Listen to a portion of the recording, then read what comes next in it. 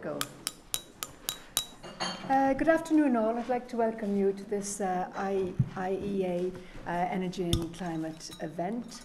Um, we're going to be listening to Jim Gannon, the CEO of the Sustainable Energy Authority of Ireland, speaking on, well, speaking, starting with the SEAI's um, emerging focus on behavioural economics and its impact on our low, carbon transition. But I think if we take our discussions over the last hour as any indication, um, we will be having an extremely um, stimulating and wide ranging um, uh, presentation and discussion. Um, a couple of um, uh, practical things. Uh, first, um, please switch off your phones. Jim's address will be on the record and the slides will be available after. Is that right? Will, yeah. Okay. And then we'll have a Q&A session afterwards which will follow uh, the Chatham House rule. Um, I would like just to uh, point out to you there'll be a couple of upcoming events now in the Energy and Climate series. On the 28th of June, we're having a climate event um, by Caroline Westblom. She's from CAN Network uh, Europe, and she'll be talking about um, this, the recent report from the CAN Network on the climate performance of various countries, I believe. So, uh, Ireland's climate and energy policy within a European context, a critical perspective. And then on the 16th of July, we will have um, the second lecture in the 2018 ESB IIEA lecture series. This is sponsored by the ESB, and that will be by uh, Professor Jean Michel Glachant from the Florence School of uh, Regulation, again on clean energy for all Europeans, challenges and opportunities. And knowing Professor Glachant, that will also be a wide ranging and stimulating event with a lot of experience behind it. Um, anyway, uh, I think that for most people here, um, Jim needs very little introduction. Uh, he has been chief executive of the SEAI since uh, May 2016. Um, his career uh, was, most recently, he was director at RPS Group, leading the energy, environment, and health and safety um, area. So he has focused on energy throughout much of his career encompassing policy, infrastructure, technology, European, national, regional levels, and a strong background in engineering, environmental assessment, and business. Please. Thank Jim. you very much. Uh, thanks everyone for attending, and I hope we have a short presentation followed by a value adding dialogue, and I think that's what's most important here. Sometimes, as a civil engineer, you feel like a charlatan talking about behavioral economics and behavioral sciences, but what I'm going to articulate really is the need we have for looking at different types of policy intervention. SEAI's experience over the past number of years and our desire to increase social awareness, social acceptance perhaps, and then also in terms of specific decisions and interventions, increasing the application of behavioural economics and related sciences to the policy making process. Um, I won't dwell on SEAI. I believe most of you will know who we are. If not, please visit our website. Uh, I'm going to briefly introduce where we are today with regard to our energy targets. Mention CO2.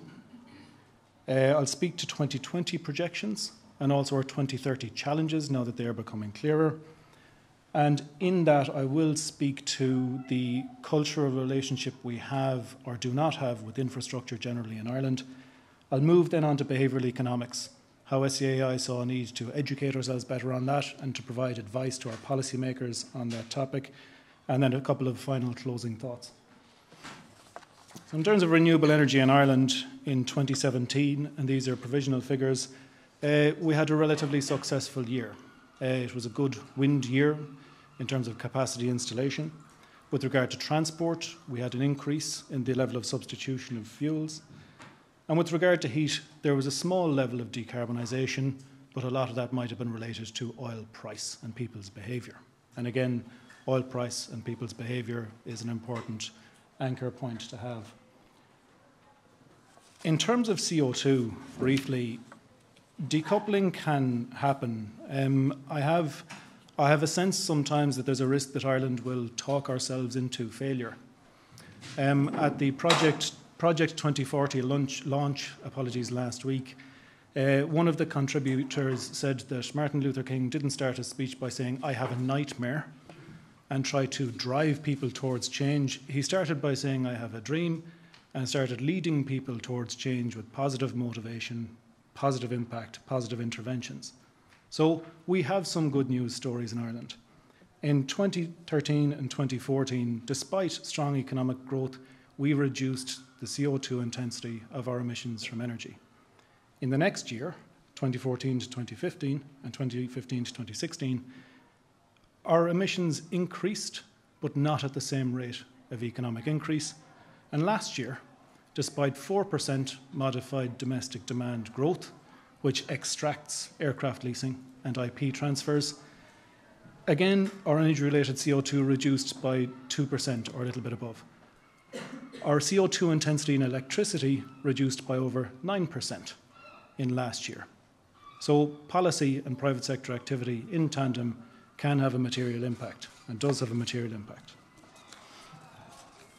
But a lot more to do. So, in terms of our 2020 scenarios, uh, last year SEAI would have seen us landing somewhere around 13.2% against a target of 16% overarching.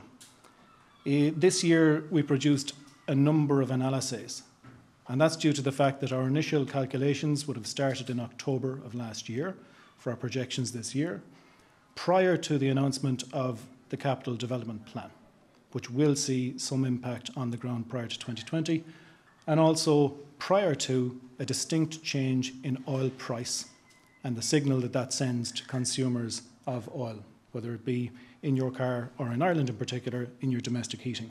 And these will have an influence. The net impact is that we still see ourselves reaching somewhere between 13 and 14%, depending on some policy interventions that are made. In terms of 2030, um, you can take a number of different views. I think important to me is that Europe agreed a 32% level of renewables in energy about a week and a half ago. What that means for Ireland, if you look at the 20% European target versus the 16% target we arrived at for 2020, it could see Ireland with an ask of about 26 or 27% of renewables by 2030. If that's the scale of ask, then we need significant activity across all sectors. And the current methods we are using in a business as usual case likely may not reach the target. So we need new methods of decarbonisation we need new methods of incentivising renewable electricity in this country. That said, I think it's very important to make the point that our expectation should not be that the National Development Plan and the Exchequer funding described in that is the limit of our ambitions. One thing that is true around the world and being realised by many, not just as a challenge but as a business opportunity, is that private sector finance, and Laura and our organisation Sustainable Nation Ireland would speak to that quite well, is required and at scale. And we're now working, I'm, I'm, going to the Banking Federation of Ireland after this meeting. We are speaking to the EIB, private sector finance providers as well, on how we engage that finance. What is the regulatory planning, licensing, and consenting framework that needs to be in place to attract private sector investment to decarbonisation? And that's with regards to large scale infrastructure, but also importantly, with regard to smaller scale interventions. How do we efficiently aggregate small scale intervention, interventions like domestic retrofit or SME energy efficiency, where the amount of finance in each packet required is quite small, but if we can bring them together, it becomes attractive to institutional investors. In terms of global clean energy investment, again, I, I, suppose the prevailing wind is quite positive towards it. Lots of sustainable energy technologies are now mainstream. The value proposition around energy efficiency in large industry certainly is well recognised. In certain segments, even here in Ireland, lighting is seen to be an area where activity can increase, and lots of new business models have come into Ireland in the past year and a half that provide people an ability to execute an energy efficiency project where they don't necessarily have the means to finance it themselves. I do think that there is a very obvious increased interest in international banks, structural funds, and private sector funds over the last two years, both in terms of infrastructure and in terms of on the ground investment in aggregated project types. So, to my mind, a positive out of this is that clean energy and energy efficiency isn't just an environmental fad anymore, it's just a good use of capital in many cases. It is a good investment to make. It's a matter of looking to see where market failures are between good uses of capital in specific projects and the finance that may become available to those projects. And again, this is the type of activity that ourselves and also Sustainable Nation Ireland are heavily involved in at the moment. I'm going to focus on renewable electricity for a minute to, to bring it down to a point around social acceptance and awareness. Um, the cost curves for renewable electricity technologies are coming down quite quickly. Um, and there is a, there's an opportunity there for Ireland to capitalise on this, taking the learnings from other jurisdictions as they deployed themselves renewable electricity. Um, we are the Sustainable Energy Authority of Ireland, not the Renewable Energy Authority of Ireland. And I think it's an important point to make in that our modelling exercises see Ireland using gas in particular for a number of years yet to come. It will take us a long time to decarbonise fully. Many of the international modelling exercises also see a requirement to use natural gas on a long term pathway to decarbonising as it balances some of the intermittent generation we see coming down the line. Um, some of the challenges here for renewable electricity generation are obvious and they're spoken about quite a bit around planning and consenting, market regulation and policy consistency and certainty. Also, I think something that we don't speak too often is the scale of market in Ireland. Ireland, for a lot of the major international developers, is small scale. And the type of individual project you see in Ireland, due to our spatial, uh, our spatial development pattern, are smaller scale projects. So that large scale project where you can deploy lower cost finance, it's harder to find in Ireland. I think even if you imagine that you resolve some of these challenges and constraints, you are faced with that social challenge, that social acceptance challenge. And at the core of this is where we, we have a gap between society and its valuing of infrastructure. And I believe that this is across transport infrastructure, water infrastructure, energy infrastructure, you name it. For most people, they don't engage or consciously think about infrastructure unless something goes wrong with it and there is a fault, or unless new infrastructure is required and it's perceived as an imposition. That day to day salience or value of infrastructure and the value it provides you is at the core of a lot of our challenges. And I think it's quite important because um, people in a room like this can influence political will, but political will is derived from voters and people on the ground. And one of our activities more recently, the Sustainable Energy Communities Network, provides mentors and support to communities whereby they develop their own master plan for their community to decarbonise.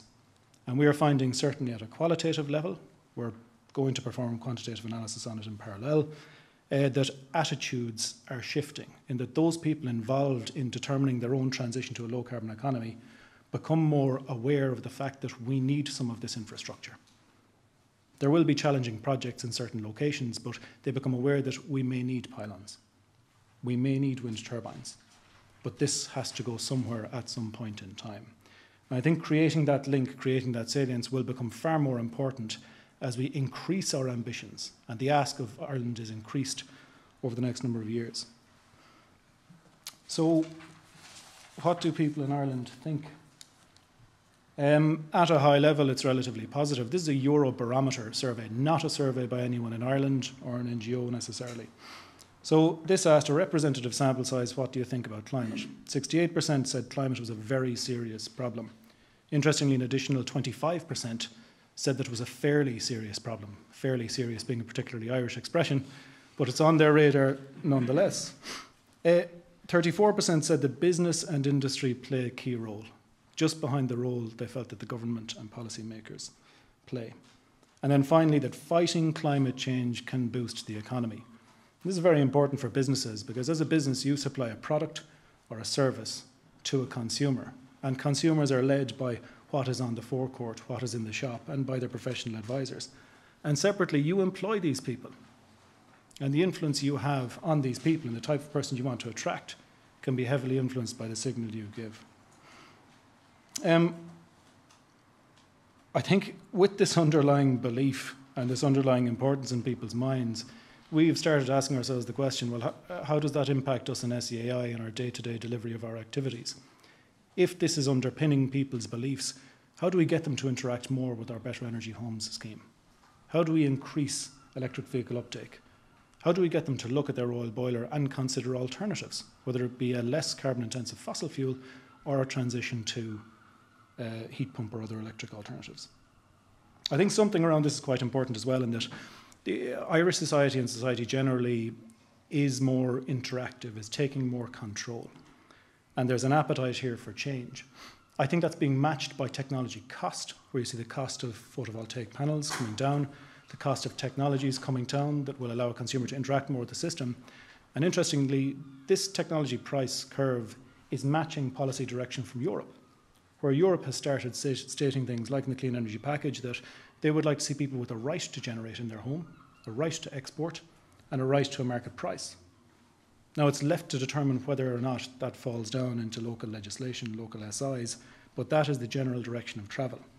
And to my mind, there's an interesting point of divergence here where you'll have some people who want to be very engaged. They want to have an app where they respond to a price signal from a market and they tell their dishwasher or their fridge or something else to switch on and switch off. But the likelihood is that we will again be a consumer led market. And someone could come along and say, We already give you your telephony, your broadband, your television channels. We will add the energy service to your bill and we'll, we'll deal with the rest. We'll deal with the controls, we'll deal with that headache. Don't worry about it. You can trust us. And that's where trust becomes very important. In that, if we're accepting these technologies and this level of sophisticated control into our homes, and we're giving that to someone else to control it in our home, you need to trust and want the service that they will provide. And this will be a challenge we face, particularly as we start rolling out smart meters over the next number of years. What, what is the value proposition for the human in their home as we look to place smart meters into that infrastructure? So, in terms of behavioural change, activities that SEAI is engaged in that led us to this, this font of wisdom would have been just trying to influence people and businesses. So, to reduce energy use, to install sustainable energy generation where it's cost effective, where it's sustainable, to purchase energy efficient products, appliances, looking at the energy labelling schemes and our market surveillance authority role, installing energy efficiency upgrades. So, this is the building envelope, the heavier, the heavier pieces of kit. And then again, creating that link and understanding the value of sustainable energy in your home, in your business, in society on a day to day basis.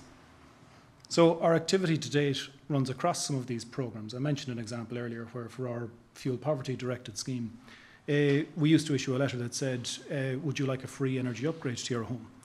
Where now we sent a letter that says, would you like a free energy upgrade to your home that is worth? And we insert the number. And there's now a value suddenly to that energy upgrade to the home. Uh, similarly, across a couple of other programs, we're using smaller interventions at different points along their decision making process to tie them to it. So, someone who applies for an initial building energy rating, or not building energy rating, better energy homes, grant to upgrade their home, there is a dropout rate between that person who applies and the person who actually delivers down the line. So, we're trying to see how do we widen that sales pipeline for someone who becomes interested and signs up to a grant at the start making sure that we get a higher percentage of execution and delivery down the bottom end. Now, what's key to us around this consumer choice is making it easy for people. So, how do we increase awareness? How do we make it understandable and just easier to execute? Separately, how do we engage them at the right time? So, we're aware from our research that once every seven years, people will generally decide to invest in their home. It could be a small investment, could be a heavy investment, but you have that one time in seven years to really engage with them and bring them towards deeper retrofit, bring them towards a more decarbonised position. How do you know when that's coming up? How do you position yourself to make that timely, I suppose? Finally, you need to make it attractive. They need to want to do it. Is it through a financial incentive? Is it through showing them that other people in their housing estate have already done it and that for that housing estate, where your home is exactly like your neighbour's home, you should be able to do this and cost effectively. And finally, how do you make it social, which speaks to this second piece? How do you let them know that other people just like them are doing it, that this is what people are doing now, and bring them down that road, and bring that down, down road of peer awareness and not necessarily peer pressure? And this speaks to one of the frameworks that underpins behavioural economics, which is the EAST framework how you make things easy, attractive, social, and timely. And SEAI had started looking at some of these aspects, although not by design, up to a couple of years ago. Um, a year and a half ago, we determined that we wanted to get more involved in behavioural economics as a science and also determining how we could bring that value to our policy design role. So, for our department, for other departments, notably housing planning and local government, we assist in the policy optioneering space. Where a demand for policy is outlined, whether through a European directive or from the political class and from the department, we engage in that data and analysis piece and framework design piece that underpins the ultimate decision that is made in the department. What became more important to us is that where these interventions approach a homeowner or a consumer or a small business in particular, behavioural sciences had a lot to add. The analysis and the empirical evidence that can be brought from behavioural tests can inform that policy decision making piece. And again, at a very simplistic level, we started looking at economics. Should we continue on the path of grants to the mass market, or should we start looking at different methods of incentivisation? In certain cases, should it be looking at low cost finance? Should it be a tax rebate? In certain cases, maybe an economic incentive isn't required at all. It's a different method of incentivization. In terms of psychology, how could we increase the salience of comfort and benefits in the home? How do we reduce hassle factors? How do we increase trust in the advice we give? And also framing. How do we provide that framework within someone's mind that leads them to the right decision? And then finally, making it social. How do we use the activity of neighbours, the activity of people just like you, to encourage you to bring you down that pathway of making the right decision? I won't go into a list of behavioural interventions. I suppose what, what happened was that we started reading papers about behavioural science and behavioural economics and realised that there was an awful lot more under the, under the bonnet than we realised. As a result, we put together a behavioural economics team that examines economics, psychology, and sociology. I think what's important is that there are a wide range of potential interventions and varied impacts from all of them. I think what's important from our perspective is keeping an open mind. Similar to the technologies we will have to use to decarbonise Ireland over the next number of years, there is no single solution. There is no single intervention. In certain cases, we might not know the specific pieces of an intervention that really had an impact. The plastic bag levy was cited earlier and it can be hard to disentangle whether that was a social framework and people felt almost pressurized because people weren't using plastic bags anymore, or was it the personal decision where the five cent, whether it was the actual cost or the principle of paying five cent, was the motivating factor. In either case, it worked, although cause and effect might be harder to link. I think we also need to recognise fairly clearly that there are differences in local economic and social conditions. And as we conducted our review that we're publishing next month, this became more and more apparent. Just because a behavioural economic intervention worked in a particular jurisdiction doesn't mean it will necessarily work here in Ireland, where we could have different social, economic, or other underpinning, um, I suppose, environmental conditions. Uh, briefly, an insight into our review. Uh, we reviewed nearly two and a half thousand papers. We took that down to an abstract level and determined which could be of most value to our review. We brought that down to 175 papers then, which we looked at in detail. And these were papers which described empirical tests that we felt were delivered in a robust way of behavioural economic interventions. It was not lab scale testing, it was in the field testing in each case of interventions that may or may not have worked. In terms of reporting, apologies. In terms of reporting outcomes, we'll publish in July. It will be very open in terms of its publication. We'll be inviting people to engage with us to ask questions on the case studies that we're looking at. And also, at the end of the report, we do come forward with recommendations. The range of different interventions that are there that you could look at is staggering, and it will be important that we prioritise and we approach it in a timely way. And that there are some interventions where we feel you could have an impact in a short space of time, so let's go ahead and try those now. In other cases, we'll work with either policy delivery, uh, policy delivery, or we'll work with private sector entities such as energy supply companies, and are working with some indeed right now to see what can we build in over a longer period of time. Um, some of the reporting outcomes was that, were that there's too much emphasis being placed on the residential sector. There's very little being placed on the commercial sector. And although industry makes decisions in a different framework, small medium enterprise does have a decision making paradigm that is similar to the residential sector. So we think there are more learnings and more tests that can be put in place there. Uh, there is a very small focus on what works for encouraging energy efficient measures as distinct from other behavioural measures. So, uh, uh, behavioural change in terms of someone leaving a room and switching on or off a light at the right time or changing the setting on their thermostat, quite a bit of focus on that. Less focus on what incentivizes someone to purchase something that is more energy efficient or make that installation choice where they will pay a premium for upgrading their building, their business, their home. And there was a very low focus on the actual energy saving associated with the programs. So for SEAI, we are focused on the outcome, the real impact of this intervention. So to our mind, and I'll cite a couple of examples later, what we want to know is that for years one, three, and five, that the intervention made had an impact that stuck. And again, reflecting back on this piece, a, a, trying to get someone to change their behavior in terms of switching on and off lights, there can be quite a bit of rebound there. Whereas if you convince someone to make a purchasing decision that changes their decision from applying a B rated appliance to an A rated appliance, that appliance will be in place performing that function over a period of time. If you can change their behavior where they want to upgrade their home to include aspects of energy efficiency or decarbonisation in particular, that upgrade will last and will stand the test of time. So, again, for us, we really want to focus on impact. How do you lead people to decisions that have a lasting impact as opposed to a short term change of their, of their mentality. Um, one interesting area for us that, that highlighted something more general was um, we don't need to necessarily develop new routes to market in each of these cases.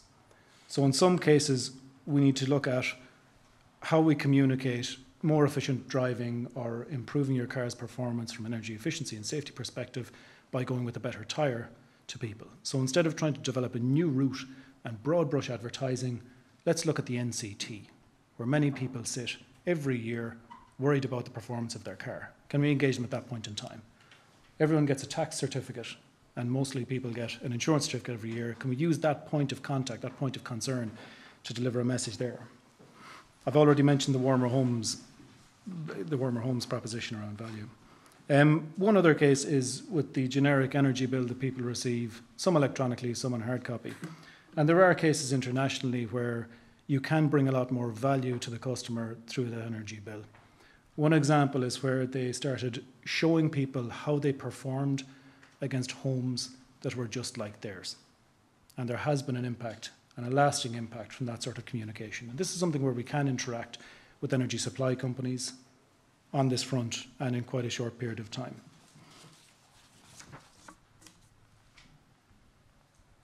Two other specific examples. One was Opower and Honeywell, where people were, giving, were given a more sophisticated control over their energy use in the States. And also, they were given one of these home energy reports that was intended to engage them in that peer effect. How am I doing against my peers, against homes that are more like my own? It was suggestive of savings of between 2 and 5 percent. A separate one in Germany was on defaulting. And defaulting is analogous to some other examples, such as pensions. If you are defaulted into a pension, and that is your starting point, some may choose to come out of a pension. If you are defaulted into being a donor of organs, more people will stay with that default position than will choose not to be. Whereas if the default is the non participating, most people will stick with that. So in Germany, they defaulted 150,000 electricity consumers to a green tariff. These consumers were told that the green tariff was more expensive than the alternative tariff, which would have been conventional energy, yet over 90% of people stayed with that green tariff. Our challenge to this study was the after two months piece. where to my mind it comes back to this frequency of decision making. And within that two month period, how many were likely to change their energy supplier in that period in any case? So my interest is in if they were defaulted to that, how long did that stick for? Is it one, is it two, is it three years down the line? But nevertheless, it shows the power of defaulting. And that is one of the areas we feel that early activity could benefit us. In terms of what next, in SEAI, we have an upgraded BER advisory report coming out. So the building energy rating in Ireland was of its time. It required an update in terms of the sophistication of assessment and also the sophistication of how we communicate that to the homeowner. And we have intentionally involved our behavioural economics unit in the design of that report using precedent in other jurisdictions. So when you get a building energy report that previously wouldn't have gone into specific detail about your home as much as it might, the new report, which will come out in August, will go into very specific detail about how your type of home, with the condition it's in, can be upgraded along a certain pathway. And again, we've used different, uh, different types of signalling here. Up the top is loss aversion. Instead of saying, if you invest this much, you can save this much, it's saying you are currently losing this amount of money per annum for not having made a certain decision. We're also using benchmarking against houses of a similar type. And we're also using uh, an approach around meaningful benefits, trying to, try, trying to make it tangible to people what their, how their home could benefit and how they could benefit in their lives. Um, I think another aspect that's important in this is tying the behavioural economics piece to that value in the consumer's mind. Uh, it is something that we are looking at and will continue looking at in SEAI, whether we would continue providing grants for measures. So you provide a grant for insulation, you provide a grant for heating controls. We need to have a more informed and a more engaged consumer if we want to move to a paradigm where we're saying your house is at D2. If you move it to C1 or B2 or A2, this is the amount of grant funding that is available. So you're funding performance as opposed to funding specific measures.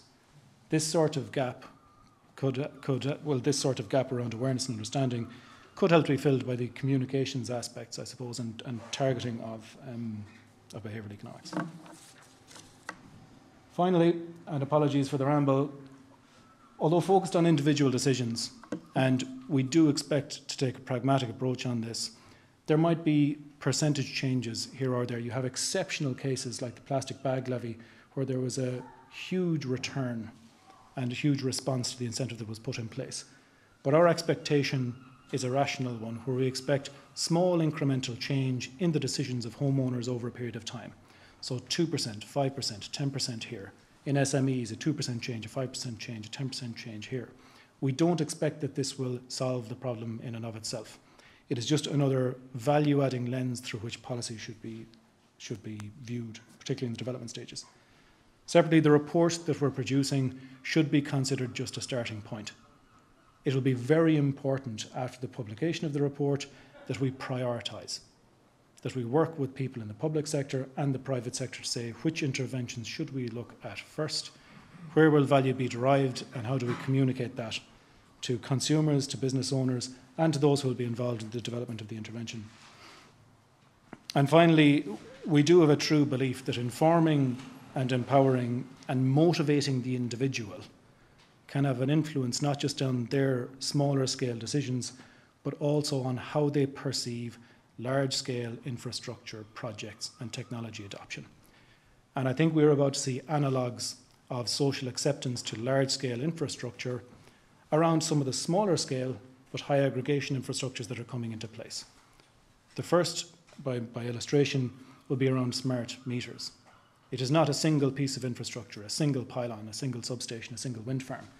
It is a large scale aggregation of small interventions where societal thought will coalesce around it. How do we make people value that infrastructure, accept it, want to interact with it? And similarly around electric vehicles or around electrification or other uses or, or other, I suppose, options for heating. Um, so again, I think linking the small to the large is quite important. We've seen evidence of it in our Sustainable Energy Communities Network, and we'll continue to drive things in that direction. Um, that's the end of the formal presentation piece. Again, sorry for the, uh, the slightly inchoate nature, but it is a topic that's new, new to us.